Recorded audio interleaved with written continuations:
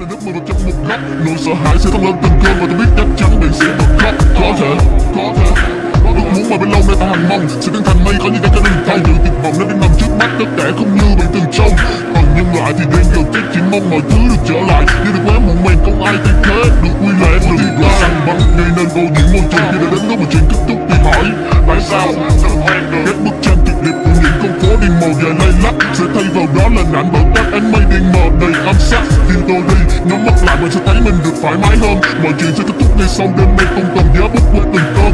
Tin tôi đi nhắm mắt lại bạn sẽ thấy mình được thoải mái hơn. Mọi chuyện sẽ kết thúc ngay sau đêm nay không cần giá bút qua từng cơn. À, nếu ngày mai chẳng không còn sẽ chỉ còn bóng tối vây quanh đây anh hãy yên tâm và chấp nhận nó bởi biết quý trọng ta từng giây em mơ tạo hóa để cho tôi nếm mừng bởi cuộc sống qua từng ngày. Nếu và nếu thực sự có ngày thời biết quý trọng cuộc sống. Và nếu ngày mai sẽ chỉ còn bóng tối với quanh đây hãy yên tâm và chấp nhận nó bởi biết quyết chẳng bất từng giây em ơn tạo hóa đã cho tôi nếm mừng bởi cuộc sống tới từng ngày nếu và nếu thực sự có ngày tận này Cũng chẳng cuộc sống. Lúc ngày dòng số phận, Cảm ơn Chúa Trời đã ban cho Ban cho tôi một mái ấm gia đình Và hạnh phúc mà tôi đã từng có. Ngay lúc này tôi không còn sợ hãi, đủ can đảm để đối mặt và chống chọi Và chúng ta đã cố gắng với sức bền Xin sự sống với tâm và chân mỏi Đứng ngày đây đừng nên một khóc, Hãy mỉm cười cho những gì đã mất. Lúc này đây ai cũng như ai thôi, Tất cả mọi người sẽ xuống Tôi cảm nhận được những cơn sóng trên về từ biển ngày càng mạnh Tôi cảm nhận được hơi nóng của núi lửa đang bắt đầu lên cực nhanh. Tôi cảm nhận được bầu trời đang bắt đầu xoay và rung chuyển. Tôi cảm nhận được thời gian đã bắt đầu đứng im. Mọi thứ đang dần tan biến. Tin tôi đi Nắm mắt lại và sẽ thấy mình được thoải mái hơn.